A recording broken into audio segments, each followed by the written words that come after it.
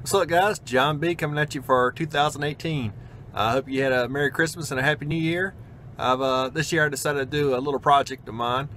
I'm going to be taking a photo every week and uh, just uh, get out, take a picture and uh, just keep my creative juices flowing. So uh, this week I started out, uh, yesterday I went to a place in Thomaston, Georgia called uh, Sprewell Bluff. It's the, on the Flint River and I'll post some pictures a little bit later on. Check it out. But uh, yeah, I went out there and that was my first shot for the year. And uh, this week I'm trying to figure out where I want to go for this week. So yeah, I just uh, want to let you know I got this project going on. So uh, hopefully uh, I'll have a video for you weekly and a picture for you every weekly. And uh, you can check it out. And then I'll have my prints up for sale also on my website. So if you like any of the prints, you can check them out on the website and purchase one. So yeah, just want to check in with everybody, see how everyone's been doing. Hopefully you had a great New Year's, and um, I'll uh, check you out a little later. Peace. Later.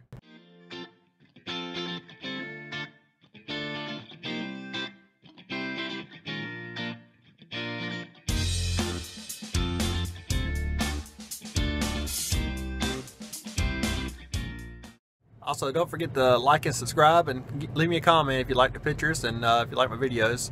Uh, See y'all next time. Later.